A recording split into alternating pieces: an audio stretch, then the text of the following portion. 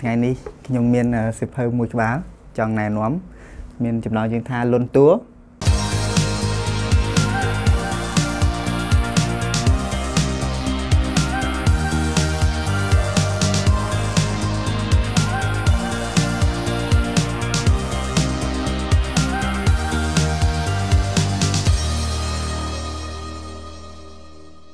ជំរាបសួរបាទខ្ញុំឈ្មោះសូរិយា ថ្ងៃនេះខ្ញុំមានសិភៅមួយក្បាលចង់ណែនាំមានចំណងជើងថាលុនតួដោយលោកគ្រូអគីស្ទីនបាទអឺសិភៅនេះគឺជាសិភៅមួយដ៏ពិសេសនៅក្នុងជីវិតយើងដែលជាគ្រូបរិស័ទ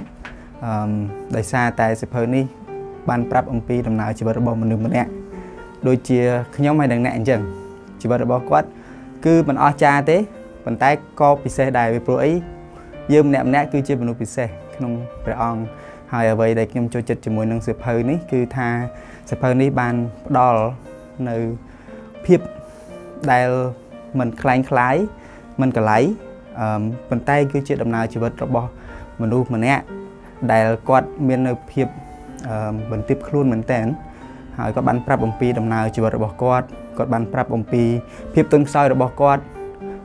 ប៉ុន្តែនៅក្នុងភាពទន់ខ្សោយនិងពិសេសរបស់គាត់នេះ គឺថាគាត់បានបង្ហាញអំពីព្រះគុណរបស់ព្រះនិងផ្ដល់ឲ្យយើងឃើញថាដោយសារតែព្រះគុណរបស់ព្រះអង្គគឺគាត់អាចคล้ายទៅជាមនុស្សម្នាក់ដែលរៀនសូត្រអំពីនៅគ្រប់ទាំងកិច្ចការទាំងអស់ដែលព្រះអង្គចង់បង្ហាញហើយជាការល្អមែនទែនក្នុងនាមយើងជាអ្នកជឿនិងដើរតាមព្រះអង្គពេលខ្លះយើងមើលឃើញច្រើនថាហេតុអ្វីបានជាក្តីស្រឡាញ់របស់ព្រះគឺហេតុអីគួរតែមានសម្រាប់ខ្ញុំ ពេលខ្លះយើងគិតថាយើងជាមនុស្សមិនគ្រប់គ្រាន់យើងទន់ខ្សោយយើងធ្វើនេះយើងធ្វើនោះច្រើនប៉ុន្តែព្រះគុណរបស់ព្រះអង្គមានមកកាន់ជីវិតគ្រប់គ្រប់គ្រប់គ្នាហើយជីវិតរបស់អឺលោកគ្រូអកេស្ទីននេះគឺជាគំរូមួយសម្រាប់ឲ្យយើងមើលឃើញថាព្រះទ្រង់អស្ចារ្យមែនទែនហើយជីវិតរបស់គាត់គឺគាត់អត់អឺគឺគាត់អត់អួតនៅអ្វីដែលអស្ចារ្យអំពីគាត់ទេ ប៉ុន្តែគឺគាត់អួតនៅអ្វីជាភាពទន់ខ្សោយរបស់គាត់ហើយអ្វីដែលគាត់បានបង្ហាញដល់យើងគឺឲ្យយើងបានឃើញថានៅក្នុងជីវិតរបស់យើងគឺយើងត្រូវការព្រះអង្គក្នុងការដើរក្នុងជីវិតយើងមួយថ្ងៃមួយថ្ងៃហើយយើងត្រូវការព្រះគុណរបស់ព្រះអង្គមែនទែនសម្រាប់ឲ្យយើងបាន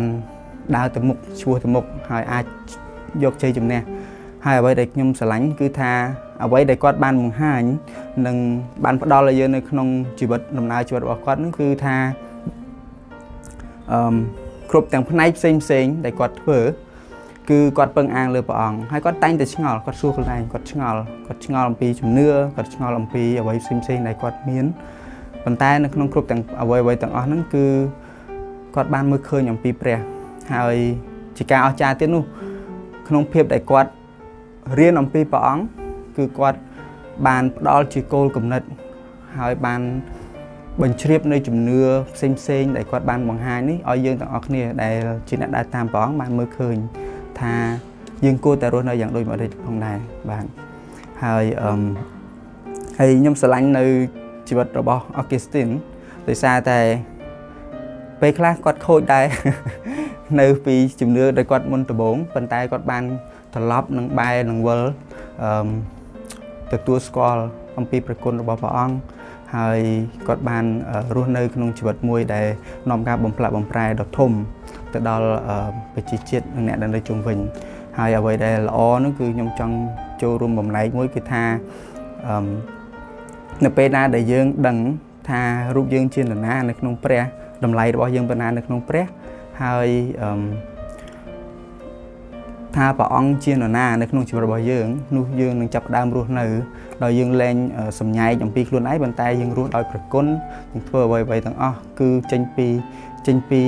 ព្រះハតីរបស់ព្រះទៅវិញបាទហើយខ្ញុំអរគុណចំពោះនៅផ្លូវពិតដែលបានដាក់ចិត្តដាក់កាយលះបង់ហើយពាក់លីតែម្ដងចំពោះនៅការខិតខំប្រឹងប្រែងធ្វើនៅសិភៅនេះមួយនេះឡើងពីពួកអីផ្លូវ សិភៅនេះនឹងជួយទៅដល់គ្រូបរិស័ទជាច្រើនឲ្យគាត់បានមើលឃើញអំពីដំណើរជីវិតរបស់គាត់និងឃើញអំពីជំនឿហើយយើងអាចរៀនសូត្រច្រើនមែនទែនពីជីវិតនិងមេរៀនដែលលោកគ្រូអកេស្ទីនបានផ្ដល់នេះបាទបើនៅក្នុងភាសាអង់គ្លេសគេហៅ Saint Augustine គឺជាឪពុកនៃបិតាបិតានៃក្រុមជំនុំមុនដំបូងដែលជាអ្នកផ្ដល់នៅជួយឲ្យយើងបានឃើញអំពីរបៀបក្នុងការរស់នៅក្នុងនាមយើងជាគ្រិស្តបរិស័ទបាទអរគុណច្រើន